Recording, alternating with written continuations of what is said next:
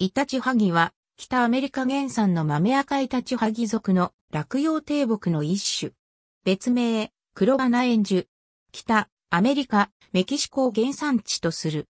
アメリカ西部、イタリア、日本などに輸入分布する。果樹樹木の高さは1から5メートルほど。葉は五星で、奇数上服用。夏季は4から7月で、長さ6から20センチメートルの黒視色をした水上果樹をつける。両性花で、果実の大きさは約1センチメートル。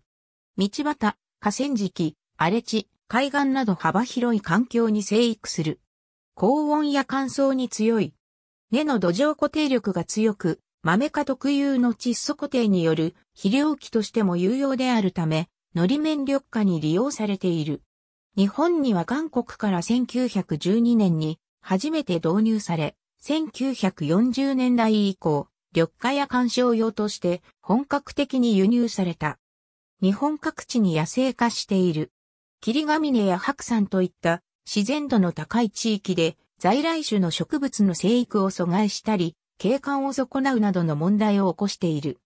また、日本に導入されたイタチハギの種子から同じく来たアメリカ原産のイタチハギ豆ゾウムシが確認されており、本種の導入がさらに別の生態学的に関連のある外来種の定着を促進してしまっている。日本生態学会では、これらの侵略性を考慮して、イタチハギを日本の侵略的外来種ワースト100に選定している。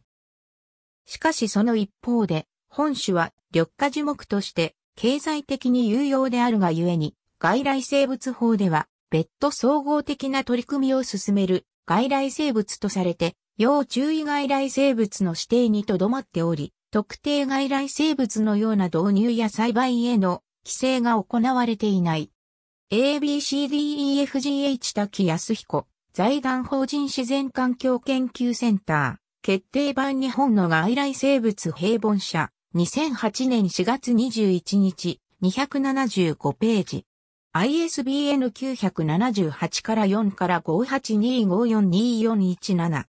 ABC 高木公平、日置義行、鳥取県千代川水系上流域において、のり面緑化に使用されたイタチハギの一室の実態と、侵略性の評価、日本緑化工学会誌第33巻第4号、日本緑化工学会、2008年、571から579ページ、土井、10.7211、JJSRT、33.571、2011年11月26日、閲覧。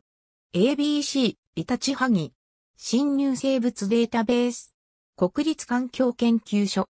2011年11月27日閲覧。津田緑、東、勝地、クラレンス D. ジョンソン、森本桂、導入豆科植物イタチハギの種子を食する、イタチハギ豆ゾウムシの日本での定着と、その寄生蜂ユペルマスの新記録、日本応用動物昆虫学開始第45巻、第3号、2001年、156ページ。ウィキメディアコモンズには、イタチハギに関するメディアがあります。ありがとうございます。